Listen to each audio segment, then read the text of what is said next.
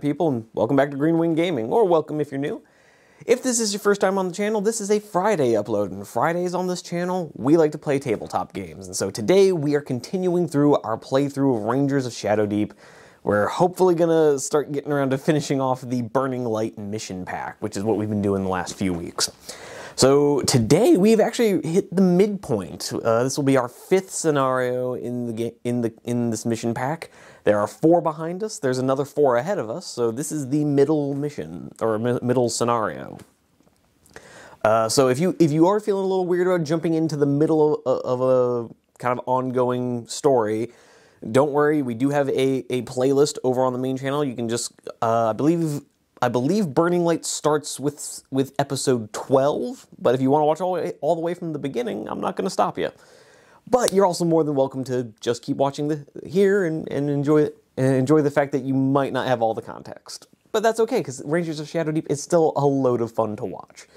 I, I know I've been having an absolute blast filming these games for you guys, and judging by the comments, you've been having some fun watching them. So on we we carry.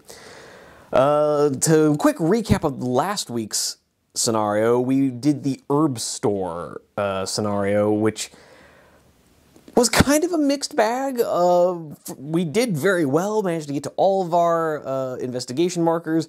Damien did get taken down to one wound, uh, so he'll be starting off this scenario at six wounds. Although uh, I, I did forget that between scenarios you can make a survival roll. Uh, so if Tywin can pass a survival roll of I think it's 12 or more, he can uh, we can pop an extra two wounds onto Damien.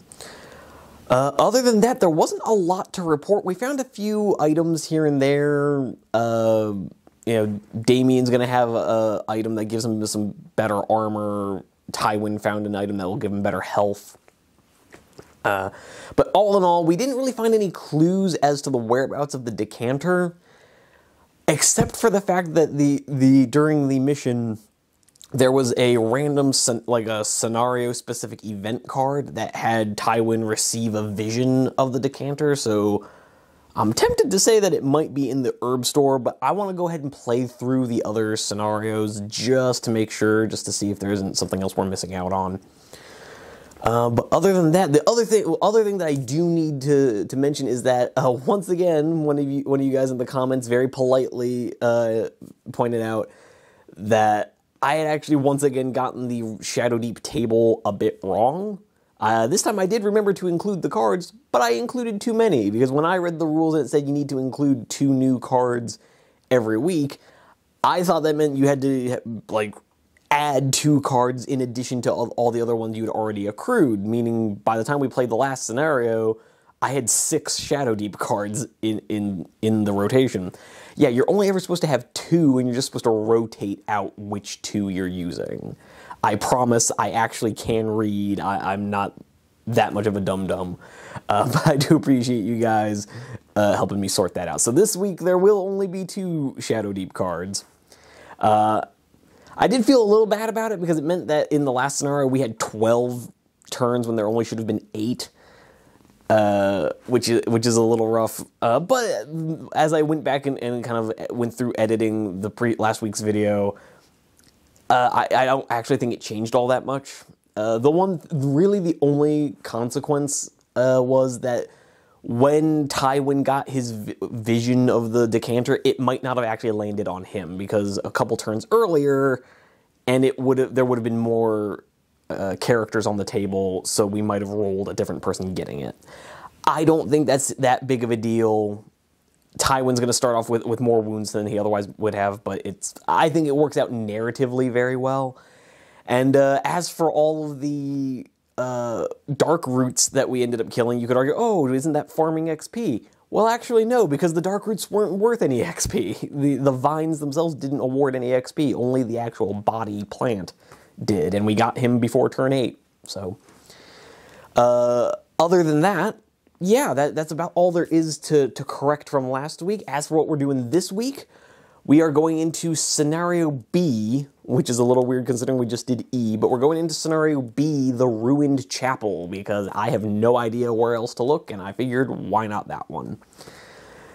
Um, but yeah, so I've already got that that the board set up for that, and it should be a lot of fun. Um, I am a little worried that this might be a harder one than usual, but we'll have to wait and see when we get into the game.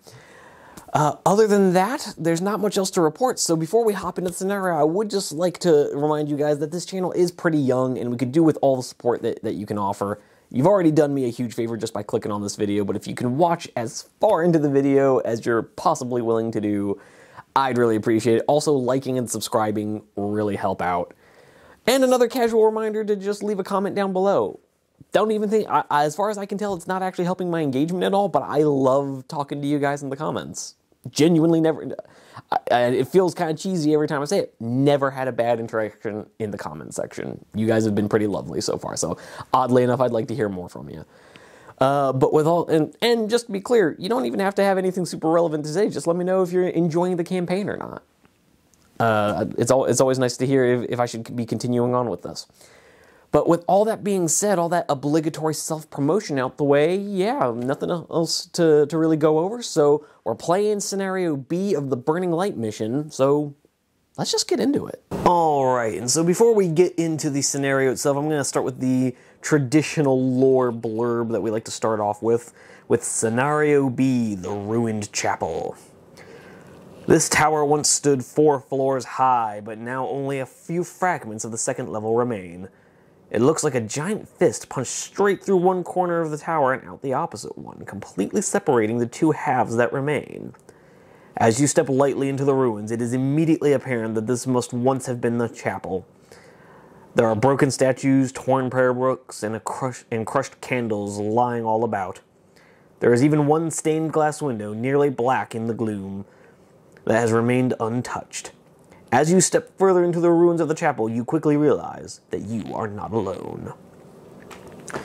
All right, and so taking a quick look at the table setup, we've got uh, our heroes coming in through one destroyed corner of, of, of the build of the tower, headed towards that other destroyed corner, or, or at least if we ent- if we had entered the convent this way, that is how it would play out. That we'd be kind of coming this way, entering the convent, headed towards the, the other corner as it uh, since we've already entered the convent, we can just say that we're coming in from the courtyard and clearing out this place just to look for clues and stop ghouls from sneak up, up behind us.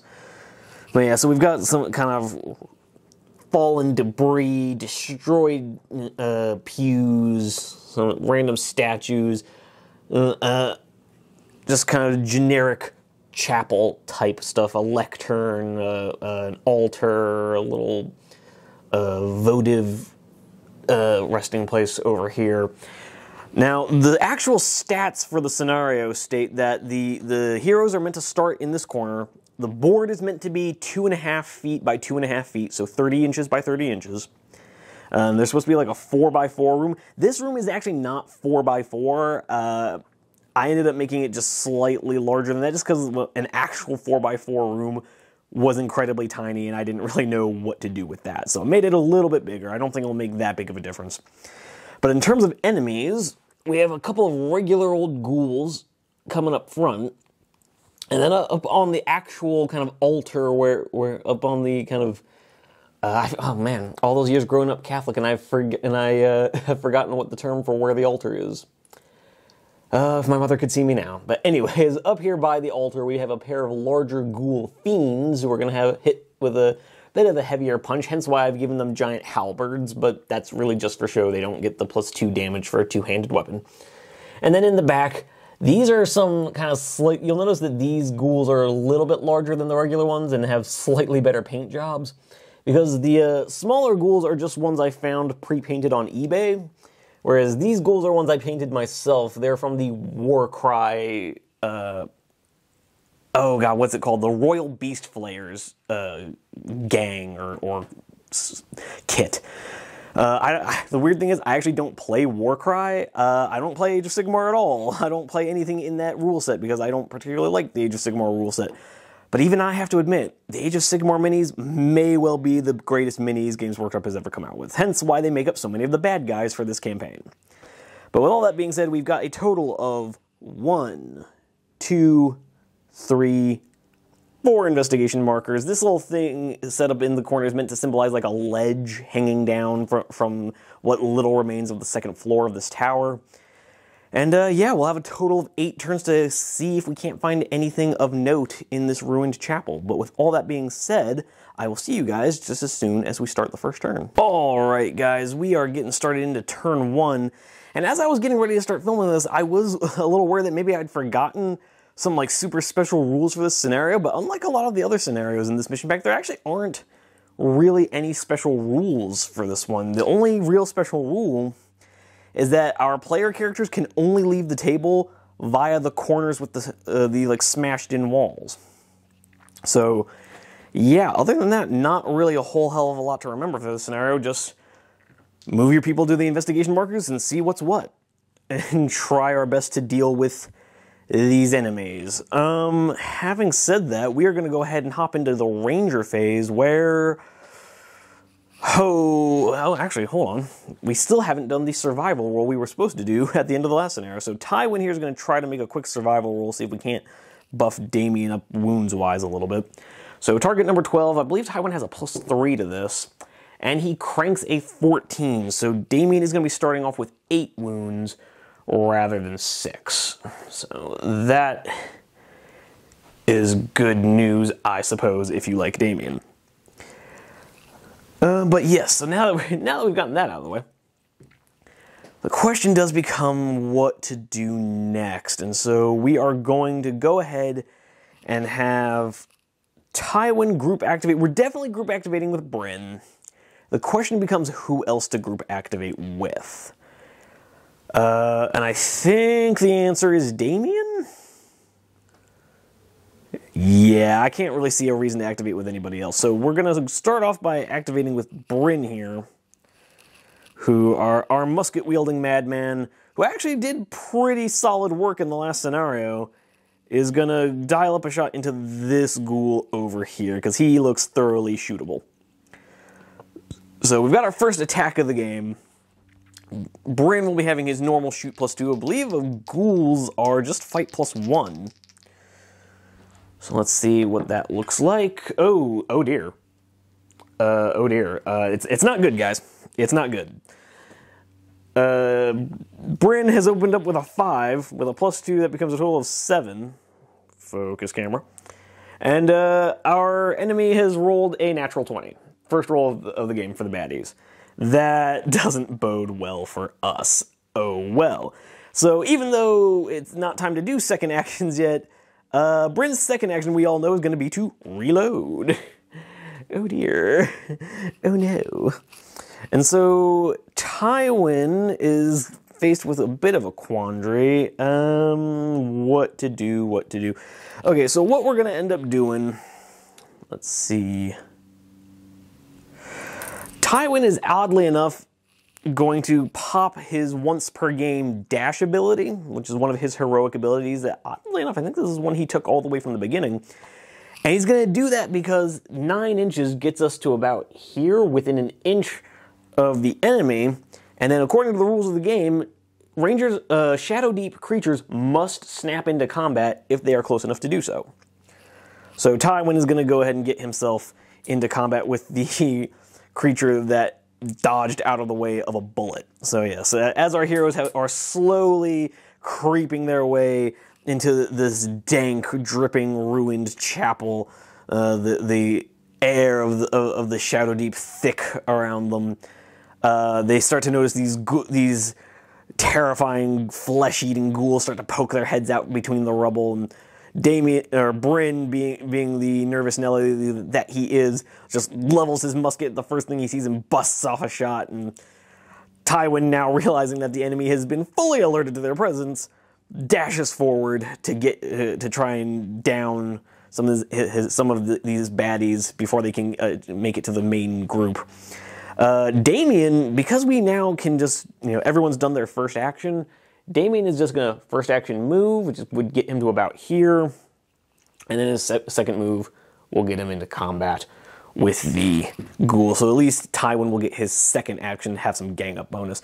Bryn, as I said, second action is just going to be to, to reload his musket and hope to do a little better in the future. But now Tywin's second action is going to be to fight this ghoul. Uh, he should be a total of fight plus six now to a fight of plus one. Uh, oh dear. Uh, and our second roll for the goodies has been a, a 2, which is going to be a total of an 8, not enough to do any damage to the ghoul. He does win the fight, uh, but there's not a whole lot of point in him uh, dropping, uh, of him pushing the creature back because we now just go into the creature phase, where oddly enough, the creature. See, again, this is one of those weird things where it feels like I'm gaming the system by having it attack Tywin rather than Damien. So I actually am going to have it attack Damien. It feels a little weird that Tywin has rushed forward and slashed his sword down at the at the ghoul. But to be fair, Damien is also rushing forward and shield bashing him, so I guess I guess we can justify it that way. But anyway, so the ghoul is going to be fight plus one to Damien's fight plus four. Let's see if we can't roll a little higher. Okay, it's gone a little better this time. So Damien has rolled a total of a 17, which let me consult the bestiary real quick. Uh, armor 10, health of 10. So the ghoul takes 7 wounds and goes down to 3. It's a bit of a shame, uh, but we are going to go ahead and force the ghoul back uh, because we can. Uh, however, this ghoul over here, being the next closest, is going to move its... Let's see, does 6 inches get it into combat with Tywin? Oh yeah, big time. So a 6-inch move from this ghoul is going to get it into combat with Tywin. Uh, I don't think Damien was within an inch. No, he's just out. So Damien will not be able to, to snap into combat with the other ghoul. So it's just going to be Tywin's flat plus 5 against the ghoul's plus 1. Oh, and once again, Tywin does pull out a win, but not rolling super hot. Uh, Tywin has rolled. Ooh, come on, camera. Uh, Tywin has rolled himself a 9, where the ghoul rolled an 8, which becomes a 9. So Tywin's total is a 14, which is going to do 4 points of damage and put this ghoul down to 6 wounds. And we are going to force it back an inch just to get keep, try to keep thing, any gang ups from happening. So next we're gonna have the ghoul fiends, who da, da, da. this one's gonna move its total of nine inches, end up like so. This one is gonna do much the same, ending up more like so.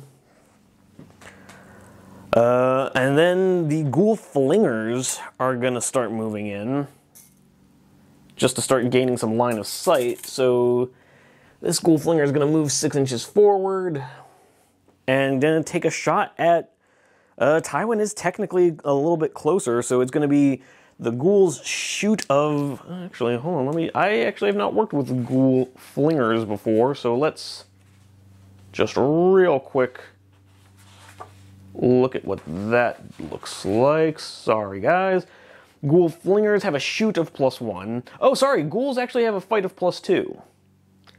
Uh, but it it literally doesn't change a thing. So ghouls actually have a fight of plus two. The ghoul flingers have a shoot of plus one.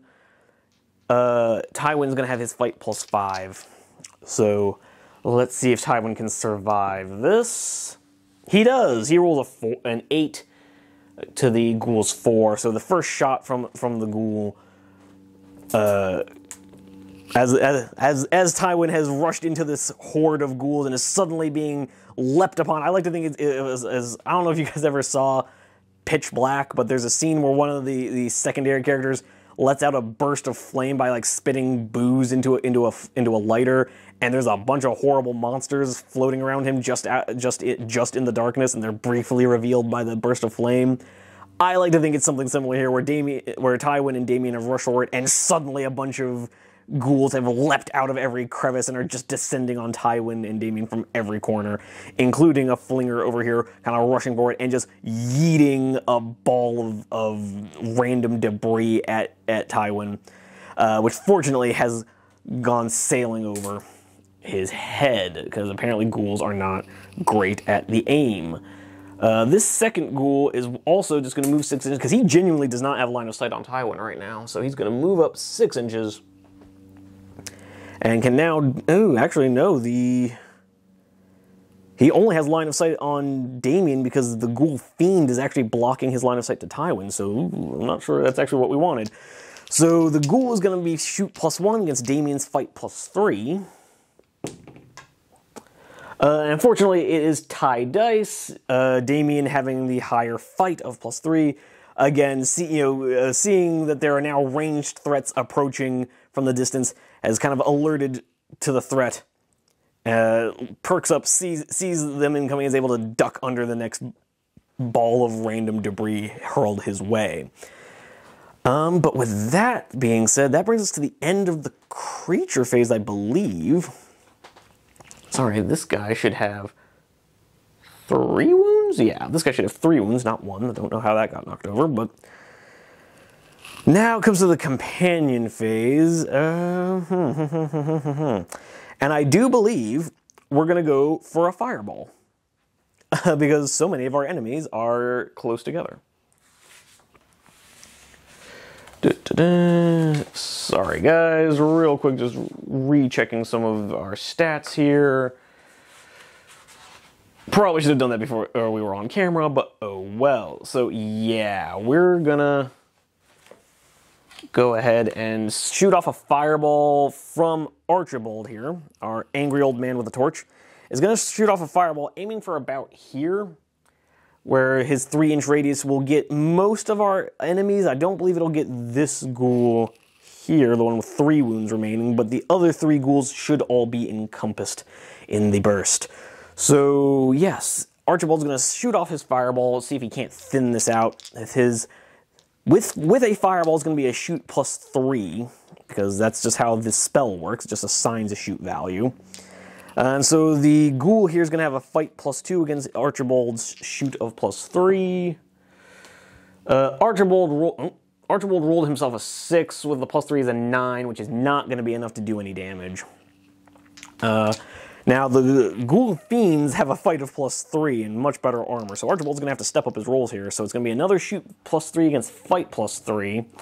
Okay, here we go. So the baddie, the, that closest Ghoul Fiend has rolled a 2.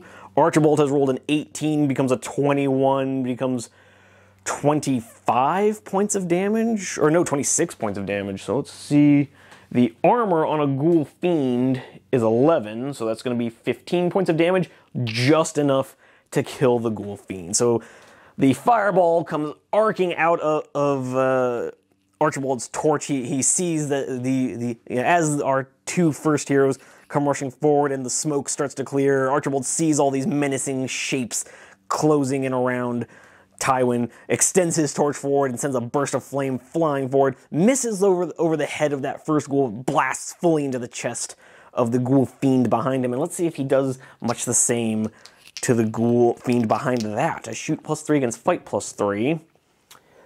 Uh, okay, that's going to be 25 points of damage, uh, which again will be exactly enough because the uh, the ghoul fiend has an armor of 11 and health of 14, so 25 is exactly what you need to kill it. So, just to clarify, Archibald has rolled a 17 with his plus 3 that becomes a 20, then gets the crit bonus for hitting a 20 for another plus 5, exactly enough to kill the second ghoul fiend. Okay, uh, I was a little nervous with how that first roll went, but now that he has Archibald has single-handedly dropped the two deadliest enemies on the table, or at least the two with the best stat lines on the table, things are looking up. All right, things could be worse. Things could be worse. Good use of a one-off spell. So Archibald has, in fact, snapped off his, his fireball spell, and with that done, he is just gonna make a six inch move towards that ledge. And up like so. And uh, our buddy Bruno is just gonna kind of race ahead of him, keeping him safe. As for the rest of our hero of our companions, we are gonna have Lady Gwyneth take her full 10 and a half inch move, moving towards that that doorway. She wants to find. She sees a, a potential for a locked door, and of course can't stop licking her lips. Uh, we're gonna move Thaddeus up to support Tywin, and the the new girl, who I've decided to name Eliza, Eliza of the of the Bastion of Saint Amelia, which is the formal name of this convent, is just going to take her double action move and move up behind Damien because she suspects he's going to need her help in the near future. Uh, that is her double move, though. So that does bring us to the end of the companion phase, which means it is time to come to the deck of scary things. So we have drawn ourselves the red ace. What does the red ace do in this scenario? A ghoul snake slithers out from under the rubbish pile. Place the ghoul snake at a random point adjacent to the pile. So, yeah, I don't really know. Uh, so the rubbish pile is meant to be like the area around this central altar, the central dais that every that everything is raised up on. Uh, so we're just gonna have the snake pop up like that. So a giant ghoul snake has come slithering out from between the cracks, letting out a, a, a, dry, raspy hiss at, at, the living creatures that have dared to disturb its brethren. Uh, so things could be worse, could be better. We'll see if our heroes can, can overcome uh, coming up in the next turn, but I will see you guys there in just a sec. And here we are in turn two, taking a quick sweep of the board where we've got our heroes slowly moving up the table, trying to clear this bottleneck we had going on uh, mm, around this kind of pile of debris leading up to the altar. And uh, yeah, we still got these. The oddly enough, the regular ghouls have fared better than their much larger, stronger fiend companions, and now we have a uh, snake com- coming at it, coming to deal with us, uh, which I don't really know how to feel about that, but oh well. Uh, but looking at the current state of affairs, going into the Ranger phase, we are going to have Tywin group activating again. Uh, and we're going to do it with Damien and Thaddeus. Hmm, hmm, hmm. the question is how to do it. Tywin is going to pop into combat with this ghoul, which is going to prompt the ghoul on three wounds to snap into combat with him. Damien's first action is going to be to pop in with, with that ghoul and Thaddeus' first action is going to be to pop in with the other ghoul. So this way Tywin will still be getting his gang up bonus wherever he goes. And Tywin is going to go ahead and just to be clear, I, I want to make uh, this is not something that's come up a lot because typically I, have uh, up until now we've always been pretty good about just killing the things that are cl- closest to our heroes. Me having the baddies snap into combat, that's not gaming. That's not me trying to like game the system. That's actually what the rules say has to happen anytime a hero ends within half an within an inch of an enemy model, they have to snap to that model. Because uh, that kind of goes just along with how the AI system of this game works. Is just that the the bad guy models are always going to be as aggressive as possible, like no exceptions. They will always be aggressive, which is why they will never force heroes out of combat because they want to stay in combat with you, and they are always going to snap in, even if sometimes it would be beneficial not to for some of these guys, it would actually probably work out better for them to not snap in, but they do, because uh, that's just what the rules say. But anyways, so Tywin is gonna use his attack. He's gonna have a gang up bonus from Thaddeus going into this ghoul with six wounds, and he's gonna be fight plus six against fight plus two. Uh, just and again clarifying, this other ghoul does not provide, does not negate the gang up bonus because it is also being engaged by Damien. So so both of the other ghouls are otherwise engaged even if Tywin isn't there. So because of that, Tywin gets the gang up bonus, but he only gets a plus one. So here we go. Fight plus six against fight plus two. Oh no. Oh no. Oh no. Uh, the ghoul has rolled another natural 20. That's awkward. So, yeah, Tywin, even with his plus six, is only going to end up at a 14. So, what we're going to do is we're going to activate Tywin's once per game parry ability. Uh, it's another one of his heroic abilities that he's taken. So as Tywin will kind of sees the flames of the fireball Archibald sent off receding, sees the collapsing, smoldering forms of the fiends, he rushes forward looking to finish off the wounded ghoul in front of him, only for it to bash him over the side of the head with, with, with, a rock. And as it kind of moves to bite into him, he just barely manages to get his shield up in time, parrying the, the incoming talons of the ghoul as he looks over and sees another one closing in on him from, from the other direction. Uh, could be better. Could be better. Uh, so that's going to be both of Tywin's actions done. Oh, I guess we'll have Thaddeus take a go. Why not? No guts, no glory. So oh, let's actually have Damien take his turn first. So Damien is going to take his second action and, uh, and make his attack. He's going to have a fight plus four because of the gang up bonus against a fight of plus two.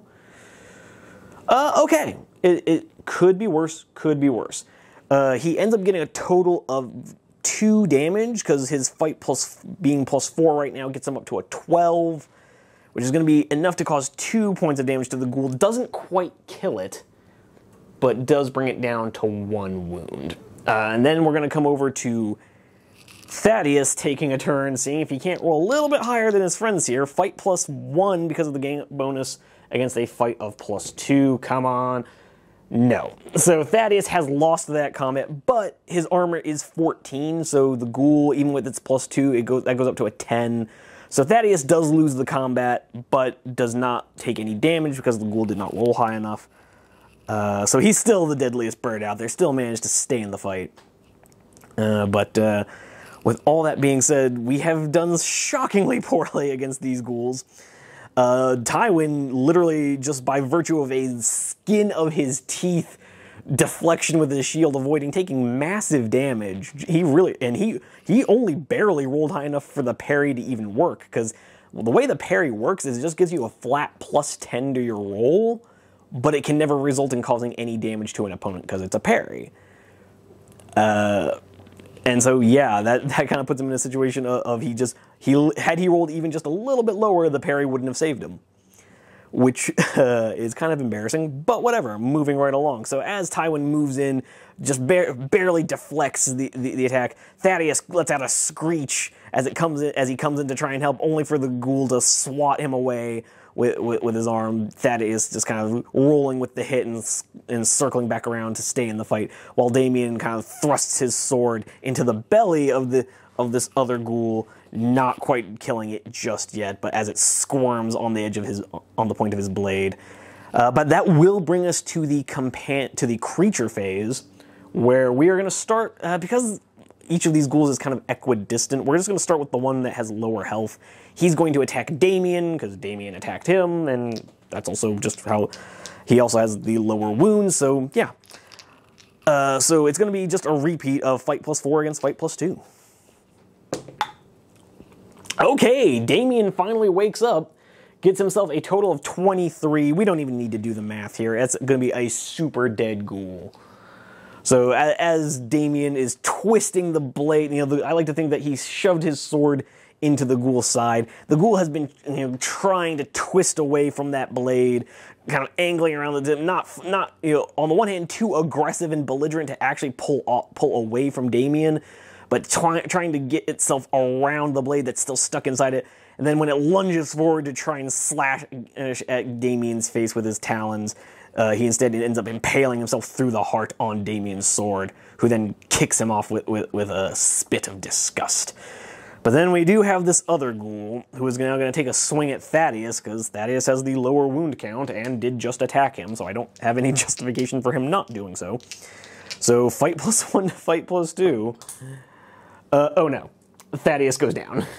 Uh, because the ghoul has rolled above a 14, so Thaddeus only has the one hit point. So, how, does Thaddeus survive? Yes, Thaddeus rolls a 19 on the out of action table. So the ghoul, uh, having enough of this bird's nonsense, sees sees Thaddeus circling back around uh, to make himself troublesome and just bats Thaddeus to the ground, who, who is just kind of laying there thinking, oh man, not again and is just kind of crawling away, hoping that Tywin will pick him up in a moment. Uh, but that brings us to the end of the creature phase. Or no, sorry, no, it doesn't. What am I talking about? There's still a bunch of other creatures. This snake here, for some reason in the in the stats, the ghoul snake only has a five inch move, which I think is kind of weird. But oh well. So five inches is actually not enough to get him into combat with anybody. So the snake is going to have to double move to get into combat. And then uh, the ghoul flingers over here are because they have they they are the only ghouls that can make shooting attacks. That's what they're gonna do, and they're I have a hard time justifying them flinging any more stuff at the heroes in combat. So this ghoul over here, the one with the bone helmet, the kind of skull helmet, I don't know if you can quite make that out. There you go. The the ghoul wearing the skeletons of an enemy is gonna dial up a shot against Gwyneth here. Now he is gonna be flinging his his his weapons over some hard cover, so Gwyneth is gonna get a plus two to, to her fight for this against the uh, Ghoul Flinger's shoot of just plus one. So she's actually got pretty good odds here, and she rolls a natural twenty. So yeah, the Ghoul ends up with a total of, of fifteen. Uh, Gwyneth ends up with a 22. So yeah, she easily sees the, the ghoul's incoming attack and uh, and dodges it. it doesn't even really necessarily dodge it. Dodge just kind of stays very still, knowing the ghoul's aim isn't good enough to hit her. And so then with its second action, it can't make a second attack, so it's just going to move forward six inches. Um, the other ghoul is going to be in kind of a similar situation where the only really good shot, even kind of good shot against an enemy not in combat, is Gwyneth. So, and it's going to be going through two pieces of hard cover, the actual dais itself and that same pillar. So she's going to have a plus four to her shoot to her fight this time. So Gwyneth's fight is going to be plus four right now against a shoot of plus one.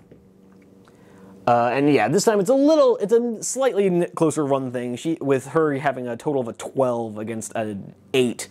So that first attack didn't even get near her. She literally just like stood still, looked at the ghoul, saw its its chosen brick smash off the, the fallen pillar, kind of lets out a laugh, only to then notice another brick coming at her with much more velocity and tugging underneath it.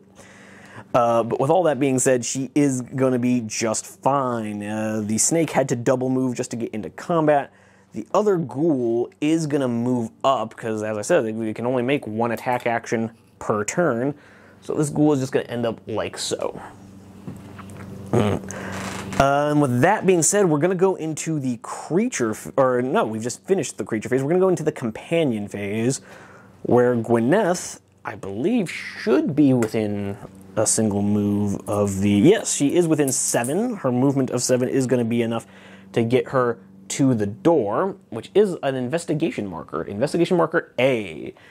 The small room has only a simple door with no lock. As soon as the player opens the door, which requires an action, see note 792. So Gwyneth is going to expand her second action, and we're going to hop over to the notes to see 792. Note 792. What does that have for us? 792. Here we go. The room contains a chest sitting in the corner of the, of, of the room. Three ghoul rotters stand in front of this chest. As soon as a hero stands adjacent to the chest, it must make a traps roll. If it fails, a new needle shoots out of the lock and into its hand, and it takes three points of damage and is poisoned. Regardless of whether it succeeds or fails, the trap roll replace the treasure chest with a treasure token. Cool, so we have a room with a treasure chest and three ghouls in it. I'm gonna have to put those down in just a second. Uh, but we can move that investigation marker out of the way. Uh, and I guess we can go ahead and remove the doorway, and we'll replace that in just a sec. But with that being said, I'm not real sure what to do with our healer. I don't necessarily want to pop her healing spell just yet, because Damien hasn't taken any damage so far in this game. Ugh. I tell you what we are going to do. We are going to have Archibald crack off another spell. He's going to send his magic bolt into this ghoul flinger, because I just need there to be fewer baddies with ranged attacks. And the good thing about his magic attack is they do get to ignore the penalties for cover, so that Pew would normally provide it with light cover, but not in this case. So his his magic bolt attack will be, I believe, a plus four magic shooting attack against the ghoul's fight of plus one. So let's see if as Archibald is walking forward and sees more ghouls shape, shapes kind of fidgeting in the shadows, he he extends his hand with eldritch lightning dancing between his fingers and sends off a bolt of energy. Rolling a 10, which does become a 15. Not enough to kill the ghoul, but he does let, let it know he's there. Cracks off a, a bolt of energy, into the ghoul's chest, which does send it kind of s- slamming to the ground, twitching for a moment before it starts to get up again, ha- having uh, uh, some smoke uh, uh, rising from, from the impact marker. But with that being said, Archibald is just going to use his second action to make a six inch move, continuing on towards that rocky ledge, ending up like so, with Bruno again just kind of staying close. With all that being said, Bryn here doesn't have any like amazing options. So I think what we're to have him do is move up his seven inches. Just to have him end up more or less like so. Uh, so he's now taking cover behind that pew. He is going to dial up a shot against that ghoul flinger. Now he did move, and he does not have a magic attack, so it's not. So he is going to take a penalty for moving and shooting. But he's no longer giving co- insane amounts of cover to that wounded ghoul flinger. So he's going to have still going to have his shoot of plus two, but the ghoul flinger is now going to count as fight plus two. So it is going to be dice even as he has finally finished ramming home the, uh, a new, uh, fresh round in, into the chamber and levels his musket, looking looking to do a little bit better this time. So he does not. He does not. Uh, uh, apparently, he rests the barrel of his musket down on on the pew, and it crumbles underneath him just as he's pulling the, the, the trigger, and the shot completely ranges wide with his total of a four against the ghoul's twenty. Uh, we've seen better, and I still don't really know what to do with our healer. Uh, I guess she is going to pop her healing spell to give plus five health to Damien, getting him back up to full. Because I can't think of what else to do with her, and it seems silly to just sit around waiting to use her healing spell. And I think her second action is just going to be to move into contact with the ghoul. Uh, and hope that, that, that it's enough to help Tywin uh, smack it away. With all that being said, that brings us to the end of the companion phase. Uh, and yeah, things not moving as, as, swiftly as I would like. We're not getting, getting rid of enemies as quickly as I would like. And remember, we are going to have to put down a few more in this room over here. But with all that being said, we are at the end of the companion phase, so it is time for the deck of scary things, where we have drawn a red three. A trio of bright stars suddenly shines down through the dark clouds overhead. Choose one hero on the table to make a navigation roll. If successful, see note 199. Uh, Bryn is actually going to make this navigation roll because he just naturally has a navigation of plus two, I believe. Uh, well, actually, hold on. Let me check his stats real quick.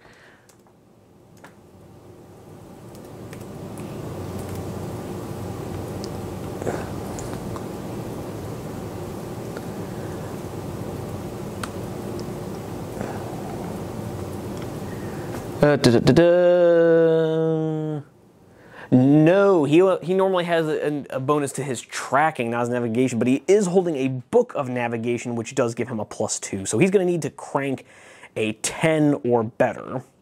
And he rolls a natural 20. So when it comes to skill checks, our guys are off the charts. Uh, it's just when it comes to fighting enemies that they don't know what to do. So Bryn here has passed his navigation check. So let's see, da, da, da, looking at note 199. You recognize the stars of, as three of those that make up a famous four star constellation. Strangely, the northeastern star is missing. Gain 8 XP. So by passing that navigation check, we've gained our first XP of the, of, of the scenario. Uh, but with that being said, that brings us to the end of turn two. I'm going to go ahead and get that treasure room set up for you guys. And I will see you guys at the start of the next turn. All right, heading into turn three here. The board is still looking pretty crowded, more crowded with enemies than I would like, even with us getting a bit of a break from the deck of scary things.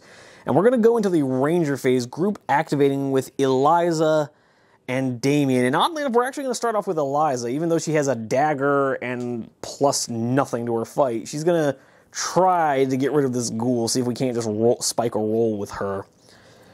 So she's going to be getting the gain bonus from Tywin at least, so she'll have a fight plus one against the ghoul's fight plus two. Um, okay, so she has rolled a total of a 12. The dagger gives her minus one damage, so she does win, but she only causes one point of damage. And we're gonna force the ghoul back an inch to get him out of combat. Uh, because I think that could be useful.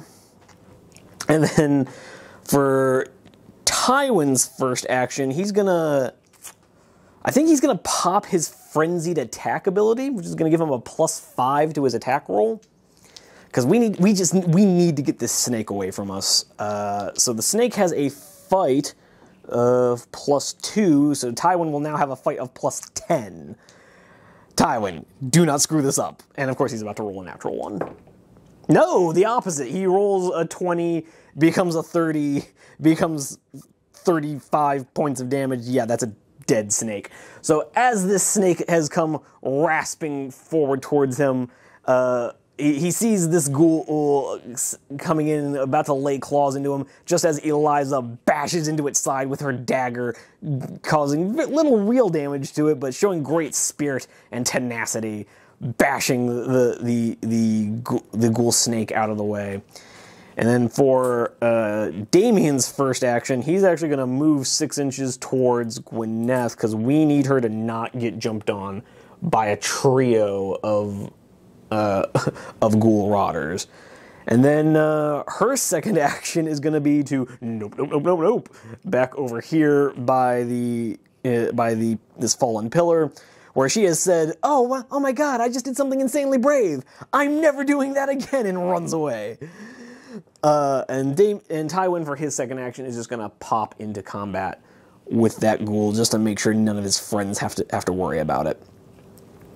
Um, and then Damien actually does have a second action here, so he's just going to move another three inches into. Uh, actually, no, he's not. He's just going to stay there. He's going to stay there and, and have Gwyneth help him out. Uh, actually, he, he is going to move just slightly forward to make sure he is the target of their attacks. Which, yeah, never mind. He's just going to pop in there. He sees he sees Gwyneth uh, recoil back from the doorway, letting out a shout of surprise. And as the snake is the ghoul snake was rearing up ahead of him, he was kind of had his attention divided between and Damien or Tywin just comes in there with his sword flashing back, cutting off the snake's head in a single blow. Looks at Damien as if to say, "Pay attention," and then gestures for him to go off to help help Gwyneth. As Gwyneth stumbles back from the door, Damon comes rushing through to find the, the three ghoul rotters waiting for him and says, Ah, yes, a challenge. But with that being said, we are we do have to start off with the closest enemies, which is going to be the ghoul in combat with Tywin, who is going to just launch an attack at him. It's going to be fight plus two to Tywin's fight of plus five. I do still have a charge in his shield of brightness, but I don't really see the point in doing that right now. Uh, yeah, particularly when Tywin rolls like that. So Tywin has apparently remembered how his sword works, uh, and uh, has, or more realistically, has remembered where the sweet spot on his sword is. Uh, and as he's looking at, the, he kind of looks over at the at the decapitated corpse of the of the ghoul uh, snake, turns to see the the writhing form of the ghoul that, gets, that is getting up to try and pursue Eliza, and he just shakes his head in, in frustration as he dash, dashes forward, and with a single mighty swing of his sword, you know, his plus five, getting him up to a 23. Uh, he comes, he comes, brings a single swipe of his sword down on the ghoul's head, chopping it off with a, in a fountain of, of already, uh, what's the term, coagulating blood. Mm. Seeing the body, the cor- its corpse drop to the floor. And that brings us to the end of that. Uh, but then this flinger is going to be chucking uh, another stone at Gwyneth because she's the closest uh, hero model, and there's not really any reason why he would attack anyone else. So yeah, he's he's gonna have a shoot plus one against her fight of plus zero because she's so close and out in the open. Uh oh dear and he does end up rolling a 13. She only has an armor 11, so she's going to take two points of damage, dropping down to 8 health. Or, sorry, no, dropping down to 9 health, because she has. Uh, she has leveled up from her progression points, so she has 11 hit points, not 10, which is definitely not in any way complicated to remember. And then the ghoul is, I guess, just gonna move into base contact with her because he can't make another attack, but doesn't really have a reason to move away. Uh, the second ghoul is now going to chuck a rock at Tywin, the fool, with his shoot of plus one against Tywin's fight of plus five. Uh, let's see. Both of them have scored a 12, which normally would st- a tie would normally cause damage. Uh, but Tywin's armor is a 12 because he has light armor and a shield. So as he's uh, kind of shaking his head at, at, at, the decapitated ghoul, he turns around just in time to see a brick yeeted at him from from, a, from this other ghoul and gets his shield up just in time to bash it away from him. But with all that being said, Tywin is going to be unharmed. And then we have to go into the awkward part of this where Damien is now going to have to find out if he can outfight three ghoul rotters. As the fir- as the closest one rushes in towards him, more than enough room to get to him in a single round of combat. Let me remind myself. So ghoul rotters do have an arm a fight of plus one. Damien will have a fight of plus three. So let's see if Damien can't can't come out on top here. No, the the the uh, Rotter rolls a 19, becomes a 20. Damien, uh, with his armor of 12, takes eight points of damage down to two. Oh dear, this may have been a horrible idea. Oh no. Uh, the second Ghoul Rotter is going to come in and now with a fight of plus two against his plus three. Uh, Damien. Okay, Damien seems to have turned it around. So the first ghoul rotter comes yeeting across across the, the this small room with far more velocity than Damien was prepared for. He just gets his shield up, but gets his head bashed against the wall of the room quite hard. He's seeing stars, dazed from the ferocity of the first Rotter's attack, just in time to notice that, that there's another Rotter coming at him. Uh, and he manages and doesn't even he's so dazed and confused from the first blow doesn't even really know what he's doing, just sticks his sword straight out at the oncoming Rotter, getting himself rolling himself a 17, which becomes a 20, becomes 25 points of damage, more than enough to get rid of this second Rotter. Uh, and then, unfortunately for Damien, uh, even as this Rotter impales itself on his sword, there's another Rotter coming at him from the other direction. Damien starts to notice it, it's its lithe, kind of semi-decayed form coming towards him. Desperately starts trying to pull his sword from the corpse of of the second Rotter, even as he's using his shield to keep away the first one. But does he get it out in time? Let's find out. No, Damien goes down. The second Rotter comes in. He doesn't get his sword out in time with the Rotter rolling a natural 20, bashing him over the head with its claws as Damien falls to the ground. What happens to him? He rolls a 16 on his out of action table, so he's going to make a full recovery. He's going to be just fine, but he is removed from play. He will not be getting a progression token this game. That is our second companion to go down. That is bad news for us, guys. Um, but okay, with all that being said, uh, that actually does bring us to the end of the companion phase? Yeah. Or no, creature phase. It brings us to the end of the creature phase into the companion phase, uh, Gwyneth is going to make an attack against the Ghoul Flinger, the wounded Ghoul Flinger, who needs to keep his wound marker with him. Now, her Bone Sword does give her plus one to fight against undead. So she will have a fight plus one to the Flinger's fight of plus one, so dice even. And Gwyneth does all right. She rolls a 17 to the Ghoul's 5. They're both plus one, so she's going to have an 18, more than enough to finish this Ghoul. So uh, she gets cocked in the head with, with, with, with a brick as, as Damien is getting jumped on by all these ghouls, but she turns just in time to see the ghoul rushing towards her, just lashes out with her bone sword, getting a lucky blow across his throat, uh, across his neck, kind of with the sharpness of that bone sword, it, it, it just barely slips under the weird little bone helmet that he's wielding and gashes his his neck completely open, his head kind of lolling to one side as it, as his corpse just kind of skitters past her, the momentum of his run carrying him in, into the corner of the room. Uh, but Gwyneth, her second action is going to be to get the hell out of there because I just cannot see a reason why she would want to stick around. She is not the heroic type. She is not going to try to avenge Damien. Gwyneth runs over here just saying, Hey, Tywin, you should really worry about that.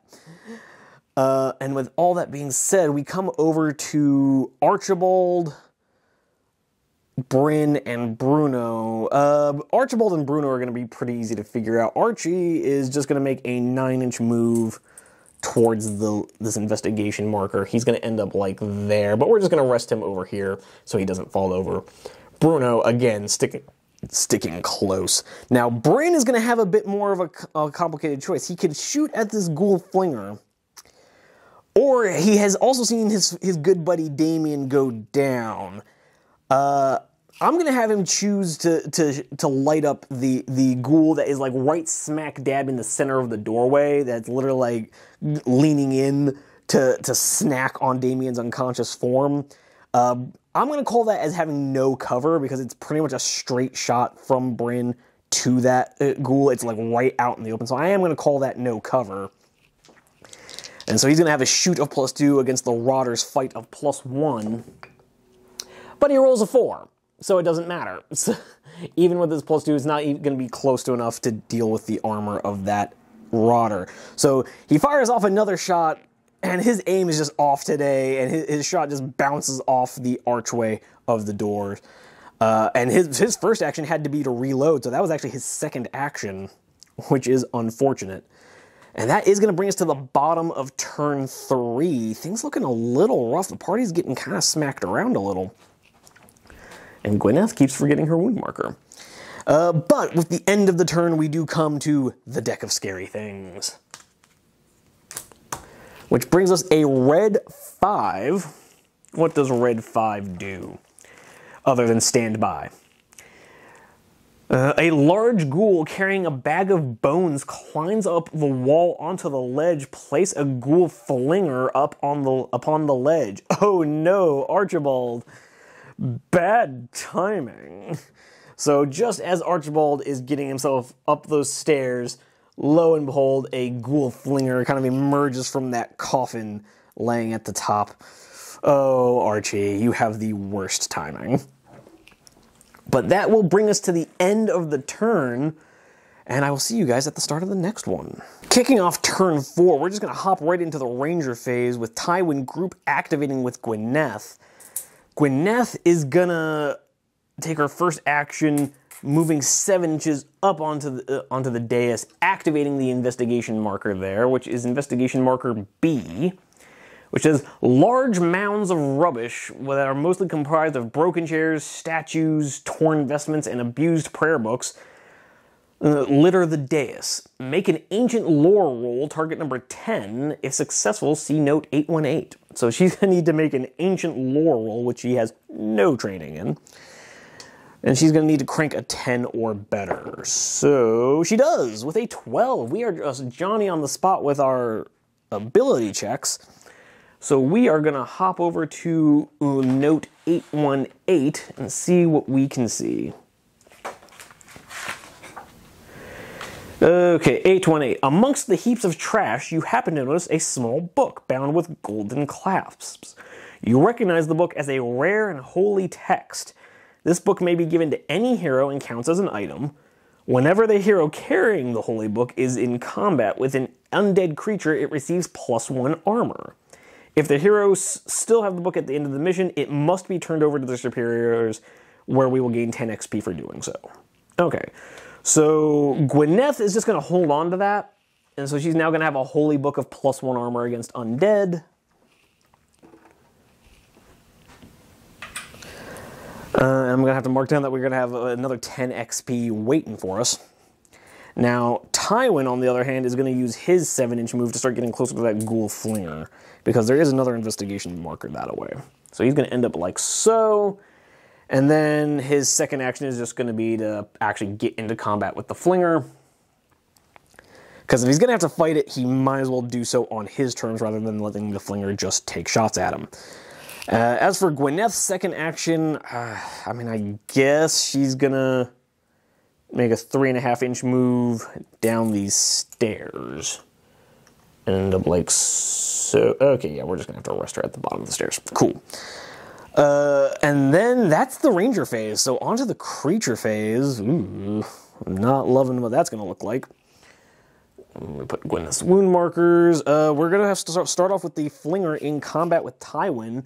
It's gonna be fun. So Tywin is seeing the threat before him, see, seeing the decapitated form of the other Flinger, not want, wanting to be outdone by his party's rogue, who is swiftly running away from the unconscious Damien. He rushes towards the other Ghoul Flinger coming around the stairs uh, shield at the ready as the and realizing that the ghoul is going to have the initiative and get, and get the first swing in. The ghoul does so, lashing out with its talons.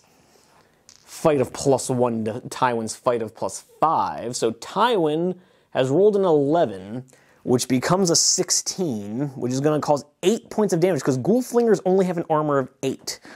But that is going to leave the ghoul flinger with two wounds remaining. Uh, and there's really no point in Tywin forcing it back because even if he did, the Ghoul Flinger would just use its second action to get back into combat with him. But then we are going to have to come over to the Ghoul Rotter, or Ghoul Flinger at the top of this staircase, which, remember, Archie is actually on the stairs. We're resting him over here because it's annoying. But he's going to chuck a brick at, at Archie's face, shoot plus one against Archie's fight plus nothing. Uh, oh dear, and uh, the creature gets a natural 20. Uh, so Archibald's going to take nine points of damage down to one. Oh dear. Archibald is down to one hit point, and then the ghoul is just going to rush forward into combat with him and with Bruno. Oh dear, this could be better.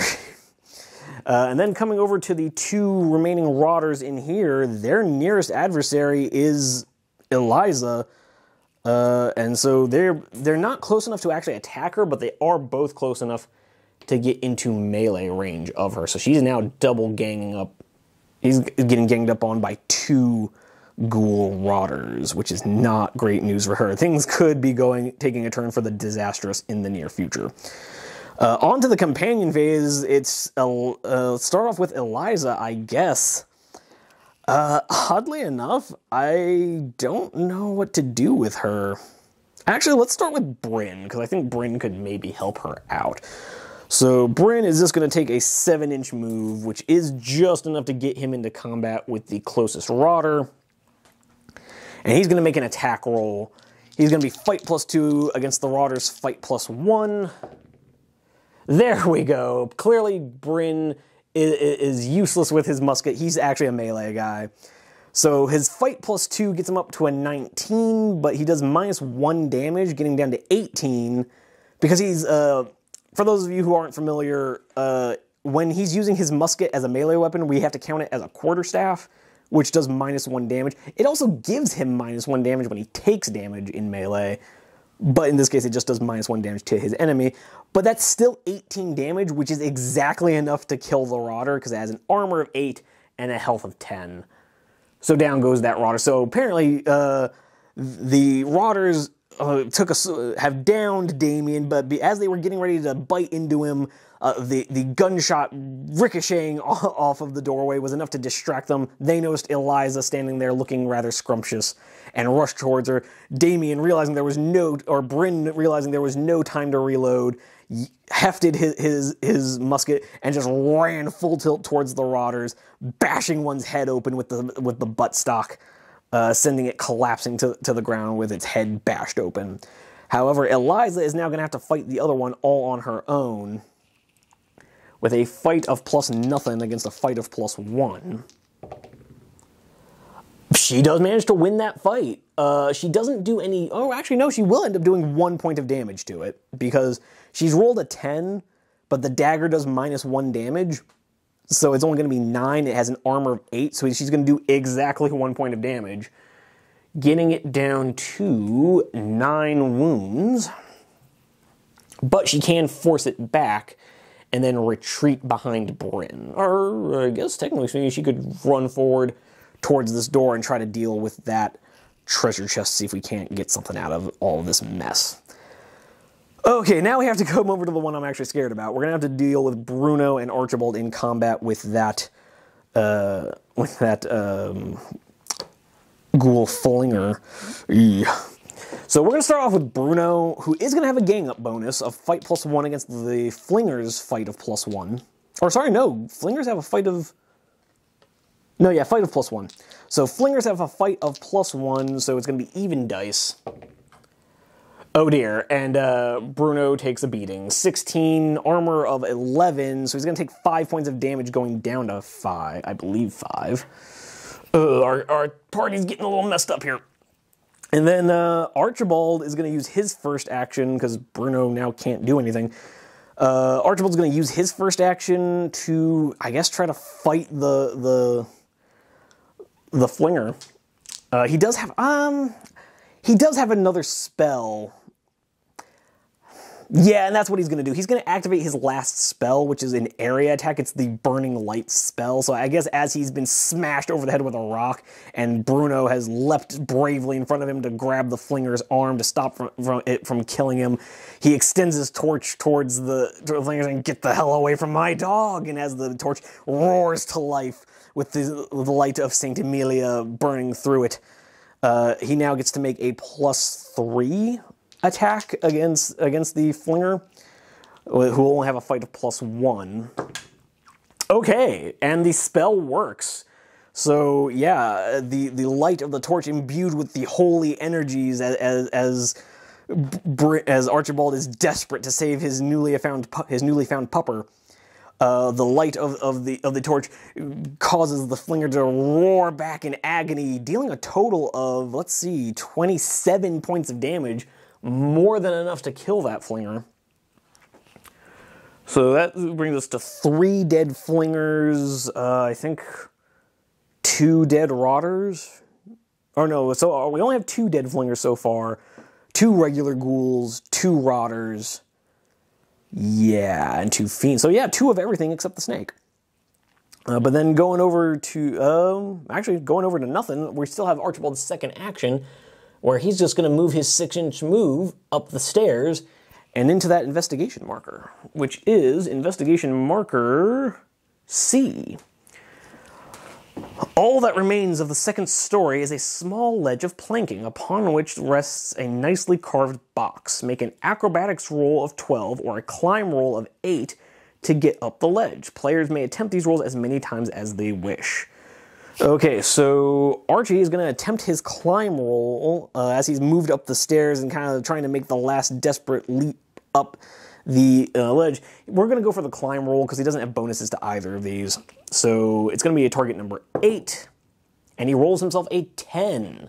So Archibald has successfully climbed up onto the ledge after burning away uh, the, the flinger. So I like to imagine that the flinger has retreated up the stairs, its body alight with holy flame as it collapses to the ground, and Archibald comes climbing up over it, shoving its corpse off the stairwell as it comes up, up to, to whatever treasure awaits him. Uh, and so yeah, and he just, according to this, he just gets a treasure token. So that's going to be one treasure token for Archibald. Uh, and Bruno's second action had to be wasted because it was stuck in combat. And they're both looking pretty rough. Uh, pun not intended. As good as as good as it was. Uh, and then at the end of turn four, we have ooh the Shadow Deep table card, the Clubs Seven. So let's see what that brings us. Club 7. A swirling darkness suddenly coalesces into a Shadow Knight. Place the Shadow Knight in the center of a randomly determined table edge. The Shadow Knight follows all the standard rules for an evil creature. Whenever a figure moves into combat with the Shadow Knight, or the Shadow Knight moves into combat with them, see note 435. Awesome! So I'm gonna have to go find myself a Shadow Knight model. Uh, but let's determine a table edge. Let's grab ourselves a D4. Uh, we'll call this table one and move clockwise. Four, so it's going to be over here next to Bryn. Fun stuff. This could only end well. Thank you so much, guys, for reminding me how to use the Shadow Deep table. Woo! But with all that being said, that does bring us to the end of turn four, and hopefully we can start to turn things around in the next one. Okay, getting started in turn five, things looking pretty rough. Uh, we've got Bryn about to be ganged up on by a Shadow Knight and a Ghoul Rotter. Uh, Tywin tied up in combat with a Ghoul Flinger, not close enough to group activate with anyone. And Archie and Bruno looking pretty rough for their wear. we're just gonna have to hop into the Ranger phase and hope that Tywin can deal with this Ghoul Flinger once and for all, having bashed its first attack aside with his shield and and pommel struck it over the head. Maybe he can bring his sword down in a mighty swing with his fight of plus five against the Ghoul Flinger's fight of plus one. Okay, yes, and Tywin has rolled a natural 20 uh, just when we needed it to. Oh, camera. Uh, has rolled himself a natural 20, uh, and yeah, more than enough to finish off the two wounds left on this Ghoul Flinger. So, as, as I was saying, he, he rushed forward, bashed the first attack, the Ghoul's attack aside with his shield, pommel striking him over the head uh, uh, as his arm extends over to the left, bringing it back across to decapitate the, the Ghoul Flinger. And with that, he is now just going to make a seven inch move coming this way to come help out because he is no longer in, interested in investigation markers. He is only interested in trying to keep his companions alive.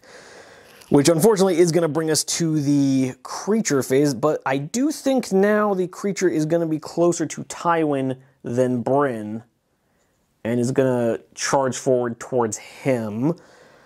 Um, Tywin, I like to think that Tywin has slashed the head off of this uh, uh, ghoul, looks around to assess the situation, sees Bryn being uh, surrounded by enemies, having bashed open the head of a ghoul flinger, and lets out a roar of no and rushes forward. The, the the volume of his roar enough to draw the attention of the ghoul rotter that has been dashed aside by, by a fleeing Eliza. So Tywin is going to have his fight of plus five against the Ghoul's fight of plus one, because it is just a rotter. Okay, uh, he does win that fight, and with a plus five, he's going to have a total of a 17, which is going to be exactly enough. Uh, the one damage that Eliza did was exactly ended up being just enough as this ghoul is kind of staggering up from being knocked over with a knife wound in its belly. It looks up just in time to see Tywin coming roaring in as he just shoves the point of his sword down through his neck into his uh, through his abdomen and out through his backside. Uh, the rotter just goes limp on his blade as Tywin uses a boot to force him off. Uh, but then the only remaining enemy on the table, the Shadow Knight, moves into combat with Bryn because he, he he is he is completely uh, unimpressed by Tywin's heroics, just looking at him like whatever. I'll deal with you in a minute. You're next. Uh, but now that he has moved into combat with Bryn, we have to check a note. Uh, note four three five, I believe. Uh, hold on, let's recheck that. Club 7, yeah, check note 435. The Shadow Knight turns out to be an illusion. Immediately remove it from the table. Wow, screw you, game. Joseph McCullough, you asshole. Why would you write that into this scenario? Just random Shadow Knight shows up. Oh, but never mind, psych, it wasn't really there. Oh, you dick. Oh my goodness, that was the worst trick to play on me. I was so terrified because I was literally, guys, you need to understand, I was pouring between the turns, I was poring over everything in my inventory, everything in, in my in my party's abilities, and with Archibald having used up all of his spells, I had nothing. We were tapped out. There was literally nothing we could do to deal with this Shadow Knight, at least effectively. Oh god, that is such a mean trick to play. But anyways, it's all worked out for the best. Uh, Tywin has dealt with the ghoul, and uh, Bryn is safe for now. Uh, but on to the companion phase. I don't particularly feel like finding out what else this game has in store for me, so Archibald is just going to make a nine inch move, uh, double move, headed for the exit. He's getting out of here, Scoob. Uh, Bruno, being best boy, is going to do much the same, but sticking close to Archibald just in case something happens. Uh, we still have investigation markers to, to check, so Gwyneth is going to make a 10.5 inch double move back towards the, the room where Damien went down, feeling a little guilty, feeling like, okay, uh, turns out Uh, Archibald didn't need me. She's make, been making a big show. Oh, guys, no, I was checking on Archibald. I was trying to trying to save him. It, it, I definitely didn't abandon Damien. Not at all. Not even a little bit. I totally didn't turn my back on him. And then Eliza is just going to make a real quick nine inch double move up towards this investigation marker, not quite getting there. And Bryn is just going to reload his musket and then retreat back between him, Tywin and Gwyneth. And that is going to bring us to the end of the turn. Things looking a lot better than they were a second ago. Uh, I was not feeling it. So, man, I am so glad that Shadow Knight turned out to be an illusion. Uh, that's such a mean note, though. Like, why would you do that to me?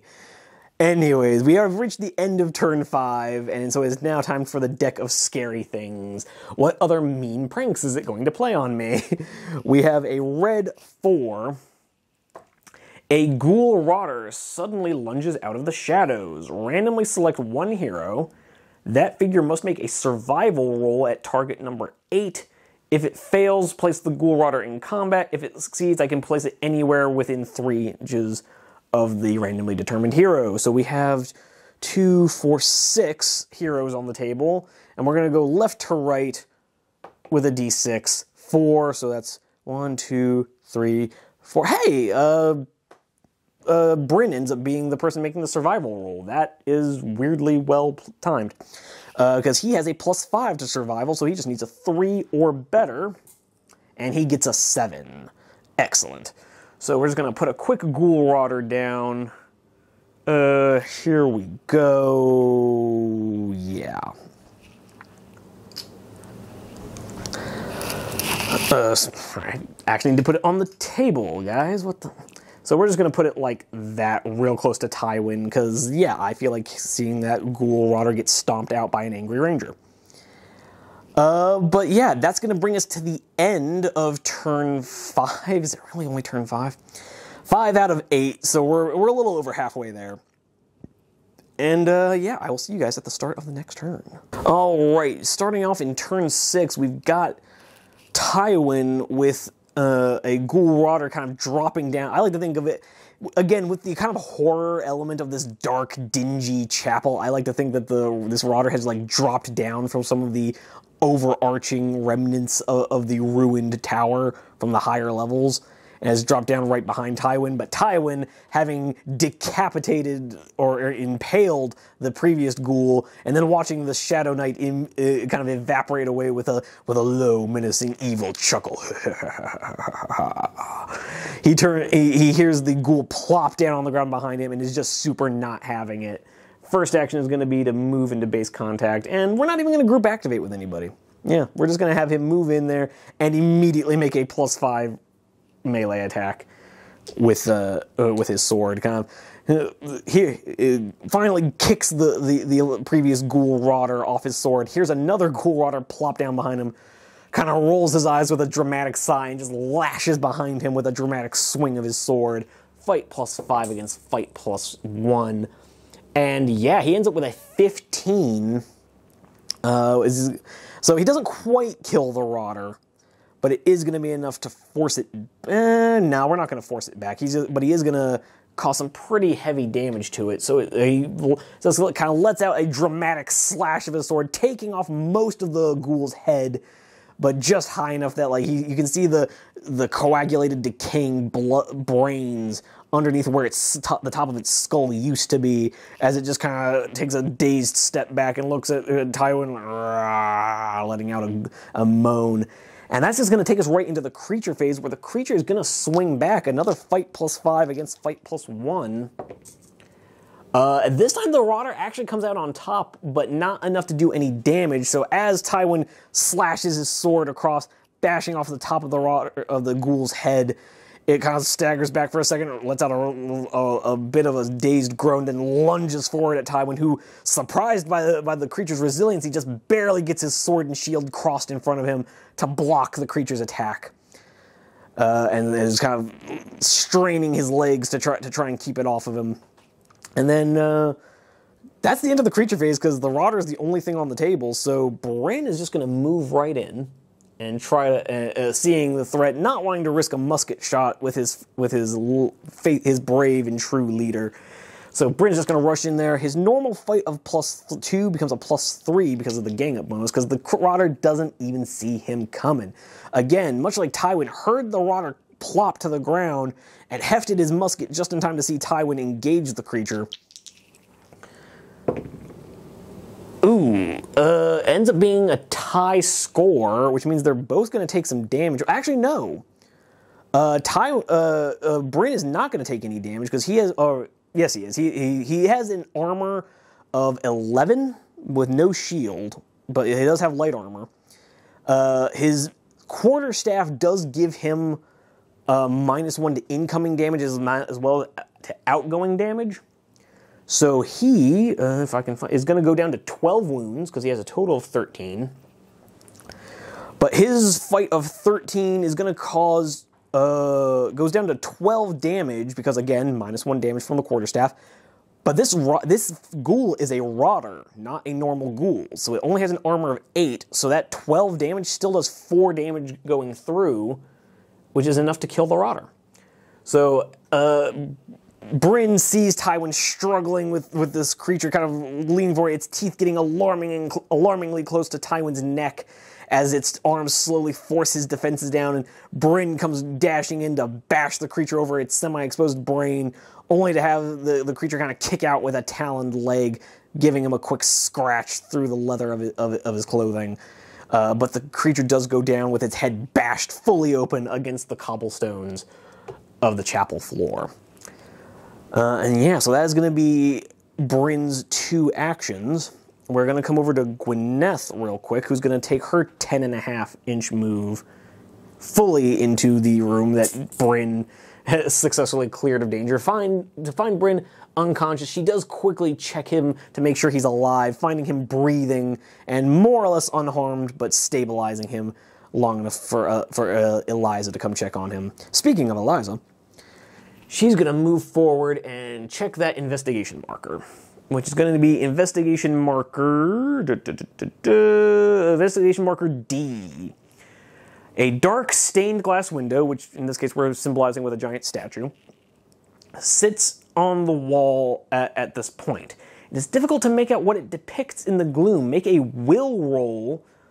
If the total of the will roll is 8 or greater, see note 901. If it's 12 or greater, see 214. If it's 16 or greater, C Note 567.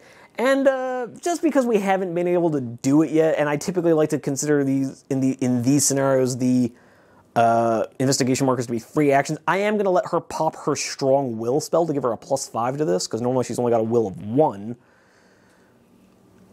So she's going to have a total of plus six to this roll, and we're looking to roll high. And she rolls a 12 with that plus six is going to give her an 18. So she gets the highest possible result. Uh, yeah, 16 or greater, see note 567. So let's go see 567. What does that mean for us? Du, du, du, the hero suddenly has a vision of the window fully lit. It is a beautiful depiction of St. Emilia holding the decanter. She is pouring water, and herbs and flowers are growing up all around her. The scent of rosemary and thyme fills the air. All heroes gain 4 lost points of health, gain 12 XP. I actually really dig that, guys. I actually think that makes a great, uh, a, a great addition to the to this game. The fact that Eliza specifically was the one to find it, walks up to this stained glass mirror, probably having seen it a million times before, has prayed in front of it countless times in her life, sees it all shadowed in gloom, feels a note of depression, seeing all the horrible creatures dead on the floor around her, seeing what used to be a wonderful, glorious shrine to, to her patron saint and in the depths of her despair, suddenly the, the window bursts to life with light and color as she remembers every detail, and everyone around her is suddenly healed. Uh, uh, Gwyneth and Bryn going back to full health. Uh, Archibald going up to five. Uh, our faithful hound getting brought up to nine wounds. Uh, basically fully healed, will be fully healed at the end of this scenario, assuming he doesn't take any more damage. I actually really like that, guys. I love the narrative there. I'm actually really loving that. That it was Amelia and not anyone else. I was feeling a little silly about it a second ago, but I actually really like how that turned out. Uh, this game is th- this mission pack has been so narratively pleasing the whole way through. I've just been super about it. Uh, so yeah, I don't know about you guys, but I've just been absolutely loving every second of it so far. Every every scenario has ended up being like incredibly narratively satisfying. It always seems to take exactly the right twist to make to make it the best version of itself. Joseph McCullough really outdid himself writing this this mission pack. It has turned out so well. Uh, but yes, going on to finish the rest of our companion phase, Archibald is just going to continue his nine-inch retreat towards the table edge. Uh, even as he's starting to feel so much more lively and sprightly, he still wants nothing to do with this place that very nearly ended him, and more importantly, his faithful doggo, because we will not stand for that. Uh, but that does bring us to the end of turn six, which makes it time for the deck of scary things. Where we're going to get the eight of clubs. What does that have in store for us? Clubs eight. The heroes hear a deep growl, and suddenly a large wolf comes bounding in. Place the wolf in the center of a randomly determined table edge. The wolf follows all standard rules for an evil creature. Okay, so once again, we're gonna have to turn to our d4. Once again, Archibald's edge will be the 1. And once again, we've rolled a 4. So the wolf is gonna end up at the center of this table edge over here, and I will get that on the table in just a second for you guys. But I will see you guys in the next turn. All right, going into turn seven, out of eight, we're almost through this, and we have our very haunted, ghostly-looking skeletal wolf. It's, I mean, it's just a wolf rules-wise, but I had this cool, spooky-looking one, so I figured I'd use that. I think it's in keeping with the very like Halloween Nove- October theme we've got going on in the spoopy haunt, the spoopy haunted uh, cathedral vibe we got going on for the for this scenario.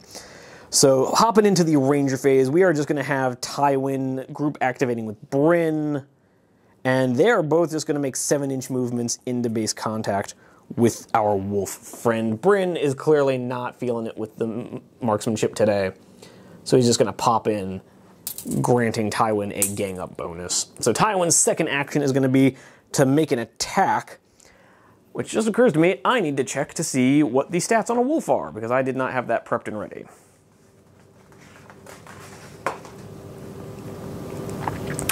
Okay, yeah, it's just a fight plus one, armor 10, 6 health.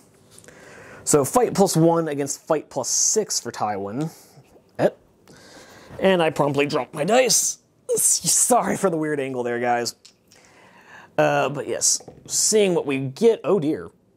Uh, that's going to be a once per game reroll if I ever saw one. Okay, yeah. So that is our hand. For, to clarify for those of you who are new, Tywin, another one of his heroic abilities that he's that he actually started off the, the campaign with was the Hand of Fate, which just lets you re-roll any one dice rolled by a heroic by a player controlled model. So his two that he rolled becomes a nine, becomes oh with a plus six that's 25 30 points of damage. Yeah you only need 16 to, ki- to kill the wolf. So down goes the wolf with a, with a mournful howl and Bryn just kind of gets to stand there and also contribute. And he's just gonna i think Bryn is just gonna start making his way towards the edge of the table. He's gonna move three and a half inches this way. But coming over we don't have any more enemies for a creature phase so we're just gonna have gwyneth pop over to the chest and try to make a traps roll. So she's going to try to make her traps roll. She does have traps plus two, so she needs to make a 10 or better. No, she takes four points of damage, or three points of damage, going down to oh, eight wounds. So let's go ahead and get that d8 out. And she is now poisoned, which means she only gets one activation per turn for the rest of the game, which is unfortunate, but she does now have a treasure token. Okay, so with that all being said, we are going to come over to Eliza, who, fresh with purpose from her religious experience with with the stained glass window, is is now bounding back towards them, the rest of the party, nine inches. And then let's see, uh, Archibald is going to be able to make it off the table. So he and Bruno are just going to run for it off the table. They want nothing to do with this. They're out of here, Scoob. Shaggy and Scoob have left the chat. Um, that brings us to the end of the companion phase, which makes it time for the deck of scary things, where we have drawn the red two. What does that have in store for us? With a great cracking sound, several large stones stumble from the highest remains of the tower. Randomly select three heroes on the table and make a plus zero shooting attack against each of them. There are literally only four companions left, so we're gonna go from left to right with. We're gonna roll a d4 from and go from left to right to find out which of them gets to avoid being hit. Uh, two, so that's gonna be Eliza. Everyone else is gonna take a hit. So Bryn, with your fight of plus two against a fight of plus zero. Uh, yeah, so Bryn rolls a total of a 20. He manages to shrug it off. Tywin is going to have his fight plus five against a fight plus zero. No, he actually is going to take some damage. He's going to take a total of four points of damage, but he's going to use an- another one of his heroic abilities to cut that in half and only take two points of damage. So he's going to go down to 16 health, and we're just going to have to remember that. And then Gwyneth, with her fight plus nothing against fight plus nothing, let's see how she does. No, she takes another uh, seven points of damage down to one wound. Oh no. Gwyneth is looking rough. Okay, so that that was actually kind of a rough one. We're not even going to bother marking Tywin's wound because there's kind of no point. He's going to heal it at the end of the scenario, particularly with no enemies left on the table. So, and with that being said, we're just going to go ahead and pop into turn 8 real quick, because that went by pretty quick. So, yeah, we're just over into turn 8, last turn of the game. Uh, there are no creatures on the table, so we're just going to kind of move everybody. Uh, Bryn has more than enough move to get him off the table. Uh, Eliza is just going to move 9 inches towards the edge of the table. Gwyneth only has the one activation due to being poisoned, so she's going to kind of limp her way out of the room. Just kind of barely having the movement to get out there, calling out to Tywin for aid, even though even as she helps even as she helps prop up Damien's unconscious form, dragging him out. Tywin, uh, Tywin's going to be a stand-up dude and just kind of come over here and play Guardian. And then we're going to flip over the last card from the deck of scary things, which is a red six a pair of ghouls crawl out from a hole in the ground, and place two ghouls directly beneath the ledge over here. Uh, I mean, we're not even going to bother because even if I give it another turn, they're so far away. They're under the ledge because that is meant to be a ledge. Uh, yeah, they're so far away, there's literally nothing anyone can do. Our ranged character is gone. They're too far away to get to us by the end of the turn yeah, that's that's going to be the end of the game. Turn eight is, is going to end up being kind of much ado about nothing. Uh, but with that being said, we have reached the end of the scenario. It was kind of a rough one. We got smacked around a bit. Uh, Eliza kind of coming in clutch with with with with spiking that roll with her spell on the stained glass window, healing us up a bit. Although Gwyneth uh, still not feeling super hot. Uh, and yeah, at the end of the tur- at the end of the game, uh, Archibald is gonna go back up to. Uh, let's see, he was at six health or five health. He's gonna go up to eight out of eleven. Uh, Bruno's just gonna heal. Gwyneth is just gonna reset to let's see six health.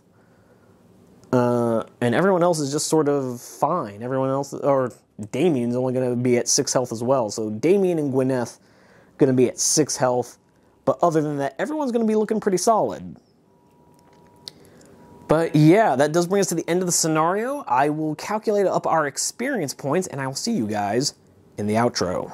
Well, there you have it, folks. Another game of Rangers of Shadowdeep in the bag. We managed to get ourselves through the ruined chapel without too much trouble, even if Gwyneth and Damien are not going to be feeling great in the next scenario. But uh, not a lot to report in terms of the actual core mission. Uh, you know, it was one of those weird things where the gatehouse intuitively led us to the court to the courtyard. The courtyard gave us clues leading us to the library. The library had a clue leading to the herb store the chapel didn't really give us anything. The, the, chapel didn't really give us much in the way of clues. We had a kind of religious experience with the stained glass window, but other than that, all we really achieved was killing a bunch of ghouls.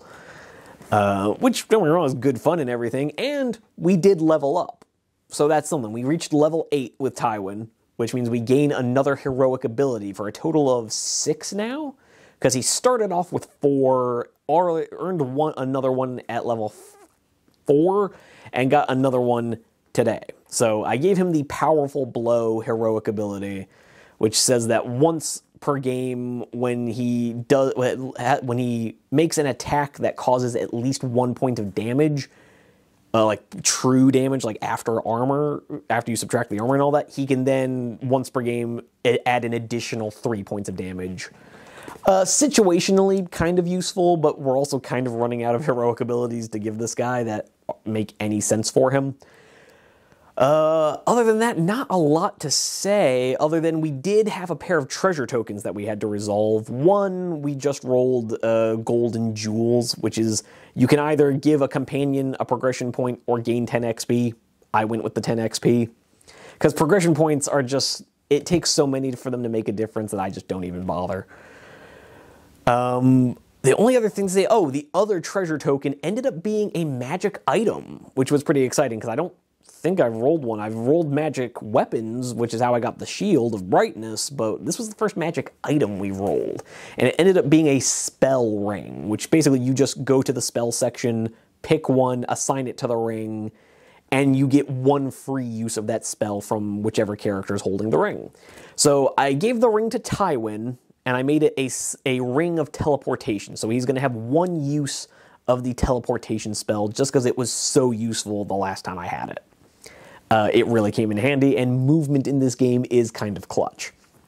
So, feeling pretty good about that. Feeling feeling pretty happy about uh, finding that ring. All in all, could have gone worse. Could have gone better.